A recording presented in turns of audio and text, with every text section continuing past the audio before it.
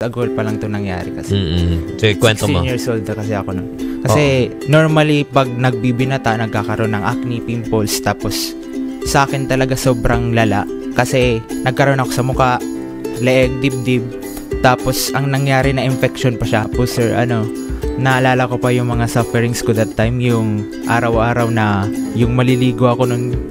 Hirap ako maligo kasi every time na matamaan yung mga sugat ko, sobrang sakit.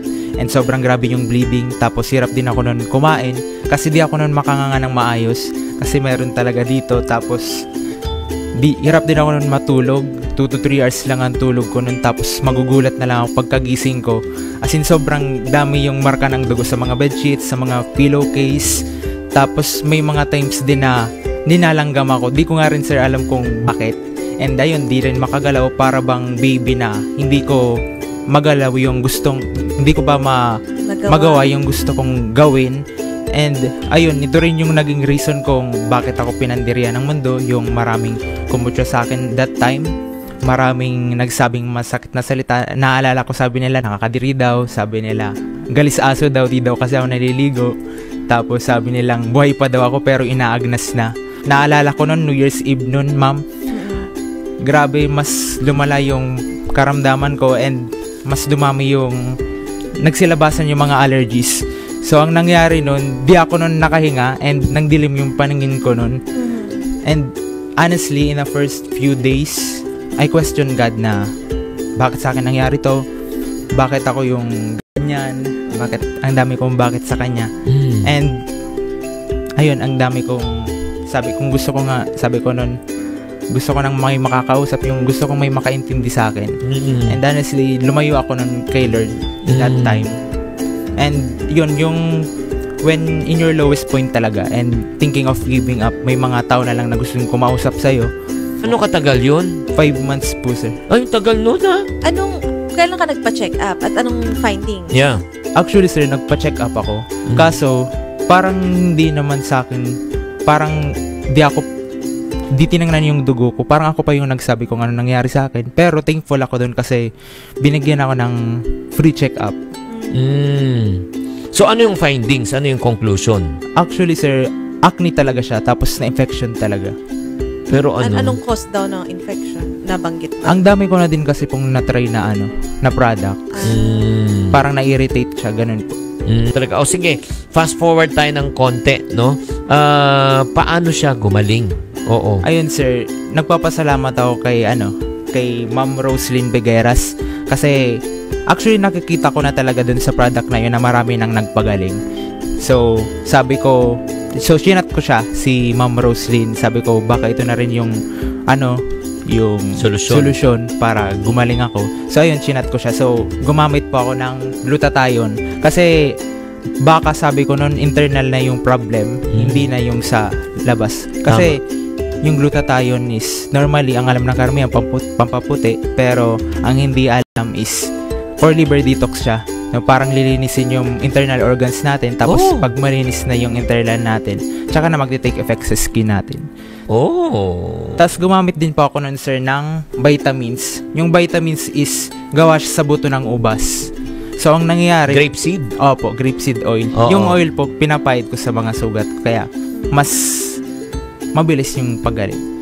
Imagine mo ha, ngayon nakita nyo na po yung before, Before. ito na yung after. Oo. Diba? Ito na yung after. Ang laki. Oo. So, five Oo. months yon tapos ano na, naging Oo. okay ka na ngayon. Okay na po nga. Oo. So yung ga- yung ano tinake mong ano Gluta po. gluta talaga nakatulong yun. Opo. Gaano katagal ang ano effect? Five months po. Ay, actually, yung first bottle ko, hindi ko pa siya totally nakita. Mhm. Tapos, kinat ko nun si Ma'am Rods na bakit ganyan, hindi naman effective. Tapos, sabi niya, ituloy ko daw. Tapos, para mas maging effective, mag four times a day daw ako. Mhm. So, ang nangyari, nag 4 times a day ako nun. Every 4 hours Mm. ko siya tinitake. Kaya mas lalong gumaling tayo. Kaya gaano katagal? Ah, Mga 5 months po. ah, five 3 months 5 din. months. Ngayon, pag-usapan po naman natin ano kanya man pinagkakabuhayan. Oo. Ngayon naman, ah, anong ginagawa mo, John David? Yun po sir, ano, part po ako ng multi-level marketing company. Oo, Paano paano? ko sir sabi Oh. yung ano, company? Oo naman. Front Row International po. Oo, paano ka naman napasok diyan sa ano, sa Yung nangyari po talaga sa akin sir, alam ko talaga pag nagpa-member ako, magkakaroon ng 50% discount. Kaya ang ginawa ko na nag, nagpa-member ako, kaya mas mura yung pag ano ko nun.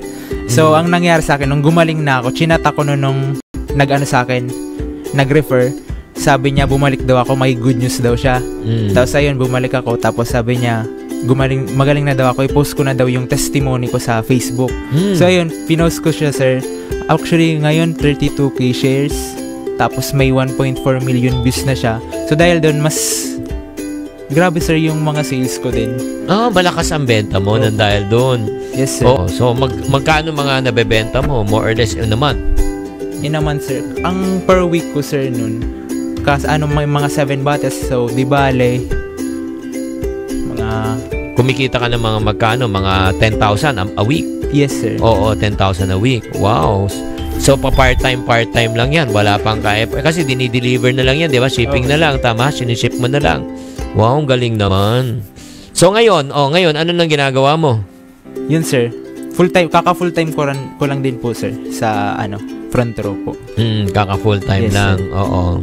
So, ngayon, ano naman yung mga benefits na nakukuha mo? Maganda na makitaan ngayon. Yes sir, sobra. Oo. When you say sobra, kwento naman, kwento. Kasi sir may ano, may weekly checks, tas may monthly checks, Mm. tas iba pa yung sa pag bebenta, iba yung kita mo sa sales, iba Mm. din sa network. Mm. Oo. So, mga more or less, magkano kinikita mo per week? Oo, sample lang, sample. Sa pag network po sir, 6.3 yung pinaka mataas ko pa lang, pero sa pagbebenta mga 15,000 mga one week ganyan. Depende. Wow, ang galing. Oo naman. May monthly pa yun, di ba? Yes, sir. Ang magkano Yung naman? sa monthly kasi sir, yung rebates yung kada bibili ka ng ano, ng products. So, di ba may 5% rebates. Doon na yun na ano sa check eh. Three wow. checks na. Ang galing Monthly. naman, di ba? Paano dyan mag-invest yung kunyari yung maliit lang yung puhunan? Yes po. Ano lang po? 4,000. Ha? 4,000 to 15,000. Mm, ah, yung mga parents mo, naniniwala na ba sa ginagawa Yes, sir. mo? Dati hindi kasi. Ngayon oo na. na ano na sila, positive na sila ngayon. Kasi na, ki- nakikita na rin nila, Yes eh, di ba? O